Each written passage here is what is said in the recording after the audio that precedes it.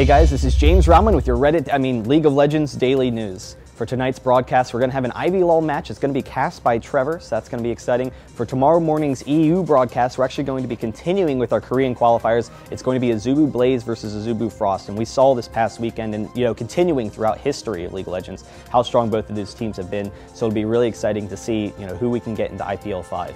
Uh, next up, season three changes. Morello, he had actually made a huge announcement on some of the changes that Riot's doing. Xypherous is tackling the masteries. You know, they have people hacking apart the items. They're basically revamping the entire game. I know right now, StarCraft's really jealous of all the changes that Riot's making, and it's uh, really impressive to see them putting this much of an effort into this game. So we'll keep you updated when there's more changes announced. I'm really looking forward to it. The new jungle changes, I've heard they're really sexy, so I'm looking forward to it.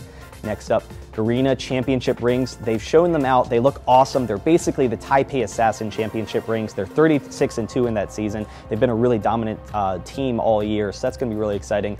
But uh, it's really cool to have you know those kind of official um, you know rings and just something that's unique to a tournament. I'm really excited for that. Finally, Zed AMA. We know that the champion's been teased for a while now, but Riot actually has a really cool discussion going on the forums where they're going into all sorts of backstory, uh, some of the intrigue between Shen and Kennen, all those kind of interesting design details that you don't normally see, and how it affects the gameplay. So definitely check it out. We have a link in the description below so you can check it out. Thanks guys for watching. I'm James Rauman. This is your League of Legends Daily News.